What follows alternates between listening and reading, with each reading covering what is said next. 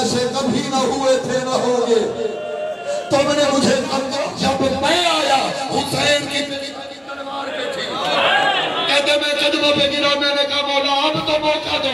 मुझे देखे कहते है अब क्या मौका दू? वो अकबर की लाश है।